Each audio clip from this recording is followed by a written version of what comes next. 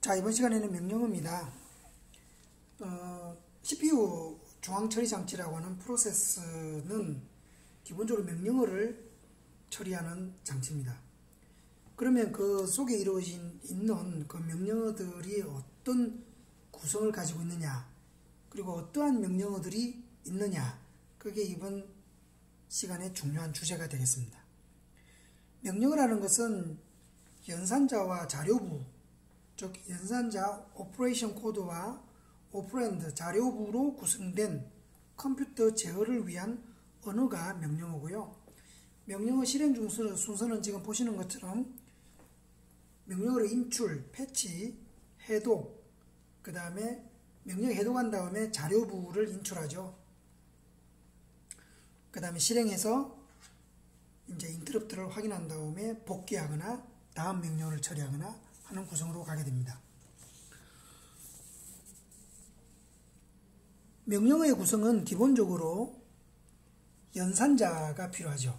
오퍼레이션 코드, OP 코드라고 합니다. 연산자. 컴퓨터를 제어하는 명령어들의 종류가 포함되어 있는 걸 말하고요. 즉 명령어 집합을 연산자라고 합니다. 그 다음에 모드는 모드는 연관 주소 결정 방법이라고 해서 연산자 또는 그 자료를 가지고 오는 그 위치가 직접 주소냐 또는 간접 주소냐를 표현하는 방법입니다. 0이면 직접 주소고 1이면 간접 주소죠. 그러니까 메모리상에 표현되어 있는 그 주소 방식을 모드에서 알고 있어야지만 직접 주소면 다이렉트 액세스를 할 것이고 간접 주소면 변환을 해서 주소를 얻어와야 되는 이런 문제가 있죠. 그래서 그런 것들을 모드에서 표현하는 거고요. 크게 보면 명령어는 연산자와 자료로만 이루어진 겁니다. 오프랜드 여기 말한 자료는 좀 전에 설명드린 자료부를 말합니다. 자료부. 그래서 연산자와 자료로 이루어졌지만 이 자료를 가지고 오는 그 위치의 주소가 어떻게 결정되냐를 모드에서 표현한다고 보시면 되겠습니다. 그러면 그러한 명령어는 연산 명령어는 어떤 종류가 있느냐 꽤 종류가 많습니다만 어, 사실은 연산 명령어를 공부를 한다는 것은 우리가 프로그래밍 언어에서 보면 어셈블리어라고 하는 프로그래밍 언어가 있습니다. 주로, 주로 이제 대학교 학부에서 잠깐 이제 배우게 되는 건데 요즘은 잘 안 배웁니다만 예전에는 어셈블리어라고 해서 별도의 과목이 있었습니다. 거기에서 보면 이 연산 명령어를 집중적으로 많이 배우게 되거든요. 굉장히 이제 고성능의 프로그램을 짤 때는 어셈블리어를 많이 손을 보죠. 어쨌든 연산 명령어는 산술 연산, 논리 연산, shift, 자료 전송, 제어와 관계된 이런 명령어들이 있다는 점을 먼저 이해를 하시고요. 산술 연산은 더 샘플성과 관련된 거겠죠, 그죠? 더 샘플성, 곱셈, 나눗셈, add, 서버, 그죠? 그래서 더 샘플성, 곱셈, 나눗셈과 관계된 이런 것들을 산술연산이라고 하고 논리연산은 어, 좀 많습니다만 not 이건 주로 보수를 구하거나 그 값의 반대를 구할 때 쓰는 거고요. 비트 값을 반전시키는 거. 그 다음에 특정 문자를 삭제하는 AND, 특정 문자 삽입하는 OR, XOR, 부분 반전, 그 다음에 complement 1의 보수 구하는 거, 그 다음에 clear 0으로 리셋하는 거, not complement, 또는 어, end masking operation 하는 end 그 다음 OR selective set XOR compare 하는 XOR 이런 식으로 논리 연산을 구성할 수 있다는 거고 이런 것들이 그 논리 처리를 할 때 연산 명령어 간의 논리 처리를 할 때 사용된다는 점 이해해 주시면 되겠고요. 시프트 명령어는 산술 논리 로테이트와 세 개가 있습니다.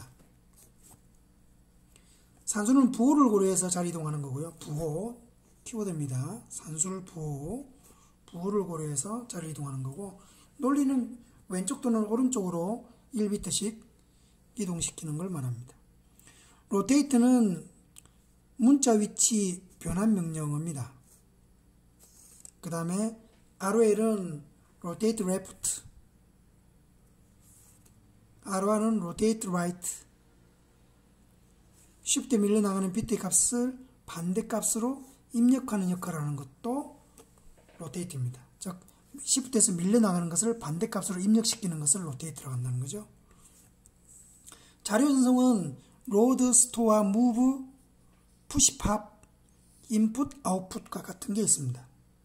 요건 별로 어렵지 않았어요. 그죠?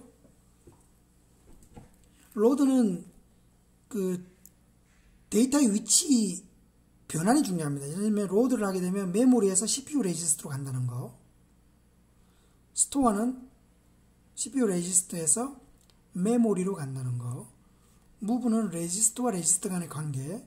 push와 pop은 스택 자료 구조에서 입출력과 관계된 거. 이거 중요하죠. push와 pop. 그 다음에 인풋 아웃풋, 입력 장치에서 메모리, 메모리에서 출력 장치로 가는 걸 말합니다. 즉, load와 store는 메모리와 CPU 레지스터 간의 관계를 말하는 거고요. 인풋 아웃풋은 입력 장치와 출력 장치 간의 아, 입력 장치와 메모리 또는 출력 장치 간의 관계를 표현하는 걸 말합니다. 여기서 차이가 좀 있다는 건 중요합니다. 그 다음에 제어에서 제어하는 명령어는 점프 무조건 분기 그 다음에 SPA SPA SPA 이해하시죠? 파지티브죠? ACC가 0보다 크면 그 다음에 SNA S 네가티브 A 그죠? 0보다 작으면 스킵한다는 거죠. 그 다음에 S Z A 제로면 skip하는 거죠. 그래서 어렵지 않습니다. 플레임을 같이 보시면 됩니다. 명령 중에 가끔 이런 게 이제 문제가 나와요. 그 다음에 어, return interrupt RETI I가 인터럽트입니다. 인터럽트로 복귀한다는 거고요. call 서버 프로그램 호출하는 거죠. 그 다음 return 서버에서 메인으로 가는 거. 그 다음에 hold 일시 정지. 그 다음 skip 건너뛰고 수행하는 거. 의미적으로 보면 그게 어렵지 않습니다. 그죠? 명령어가 어떤 의미를 갖고 있느냐. 이 정도는 이해하시는 시간이 됐으면 좋겠습니다. 수고하셨습니다.